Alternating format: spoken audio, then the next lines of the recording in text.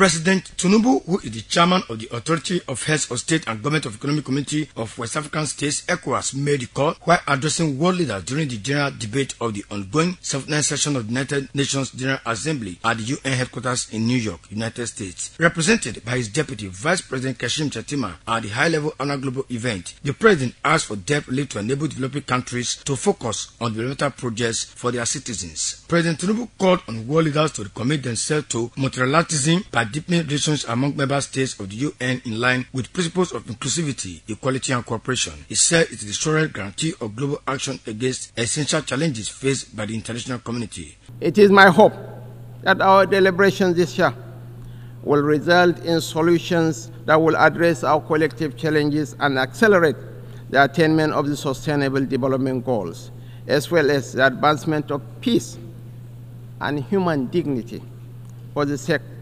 of present and future generations.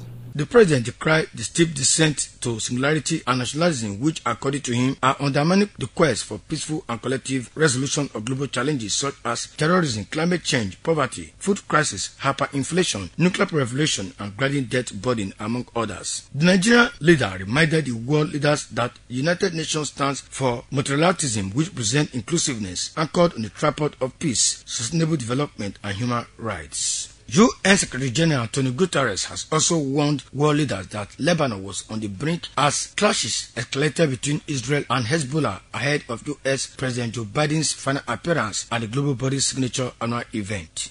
The people of the world are looking to us, and succeeding generations will look back on us. Let them find us on the side of the United Nations Charter and on the right side history. U.S. Secretary General Antonio Guterres cautioned against the possibility of transforming Lebanon into another Gaza.